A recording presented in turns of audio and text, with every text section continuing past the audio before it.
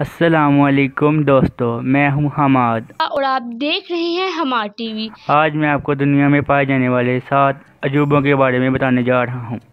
इससे पहले नए आने वाले दोस्तों से गुजारिश है कि हमारे चैनल को सब्सक्राइब करें और बेल आइकन को बटन को प्रेस कर दें ताकि आपको मेरी हर नई आने वाली वीडियो का नोटिफिकेशन हासिल हो सके। तो शुरू करते हैं अपना countdown number seven Christ the Redeemer हज़रत ईसा का मुजस्मा Corcovado mountain, Rio de Janeiro, शुमाल, मशरकी, ब्राज़ील में वाक़ है।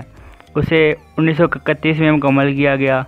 इसकी नबाई 70 मीटर है और खुले हुए बाजुओं की चौड़ाई 28 मीटर है। इस मुजस्मे को कंक्रीट से जो कि हज़ारों तकूनी शक्ल के टुकड़ों में बनी कटी हुई है, से बनाया गया है और आठ मीटर के ऊँचे चकोर पत्थर पर खड़ा किया गया है।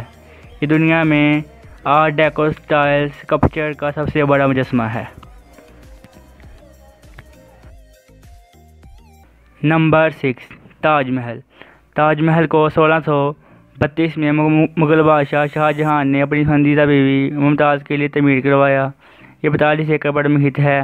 ये इंडिया के शहर आगरा, उत्तर प्रदेश में वाक़ है।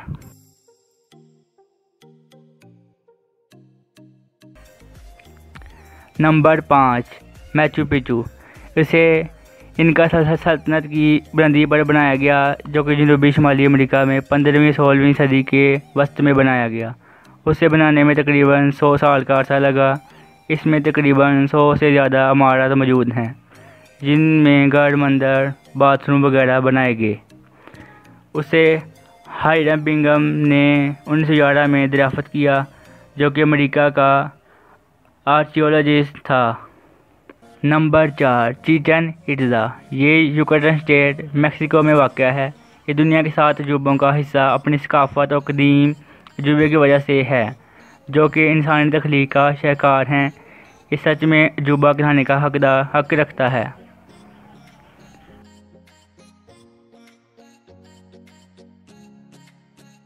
नंबर तीन, कोलोसियम।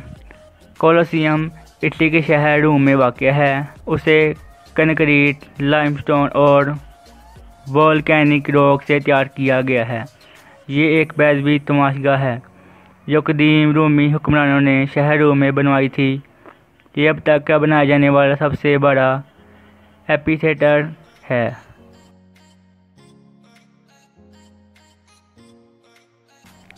नंबर दो, पेट्रा। पेट्रा के मकामी बशिंदे उसे रकमू भी कहते थे, जो कि तरीखी शहर है, जो कि जनूबी जोडान में वाक़ है। इसको पाँचवीं सदी कबल मसीह में तमीर किया गया। उसका रकबा दो सौ चौंसठ मरबा किलोमीटर है।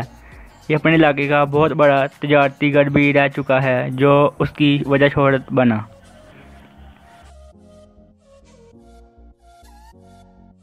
नंबर एक, ग्रेट चाइना वाल चाइना के शुमाली बॉर्डर पर मुकामी लोगों को दुश्मन से बचाने के लिए मज़बूत दीवारें तमीर की जाती रहीं।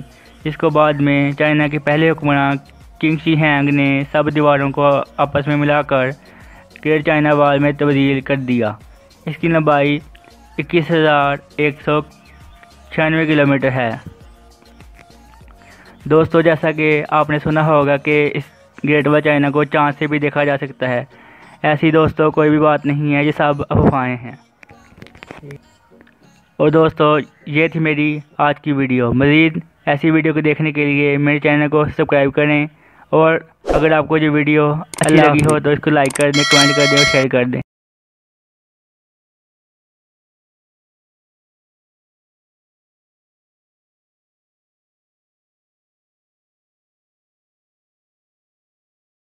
सब्सक्राइब करें हमारे टीवी को।